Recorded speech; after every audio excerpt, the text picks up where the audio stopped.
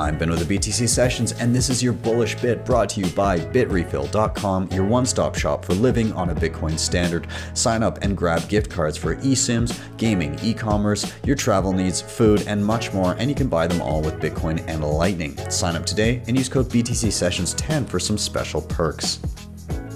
Bitcoin is is many things to many people, depending on why you're first coming to it. So, you know, the earliest, like obviously there's there's uh, uh, most people their initial interaction is speculation but then it turns into long you know for those that get it it turns into long-term savings. But there's also a you know there's there's the the the bucket of effectively preserving purchasing power is kind of like where even speculation comes from. It's like i don't i don't want to be poor.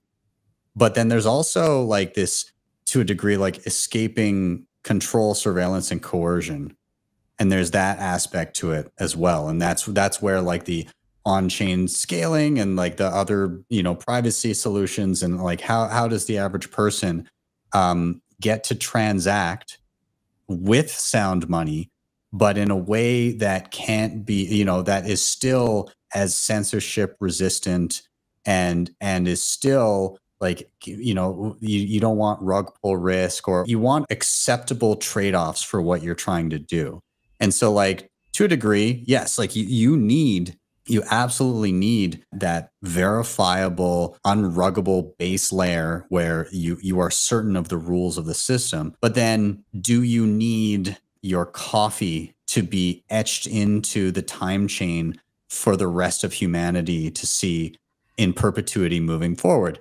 I'd argue maybe not, but also people are putting dick butts on the blockchain right now. So like, who am I to say?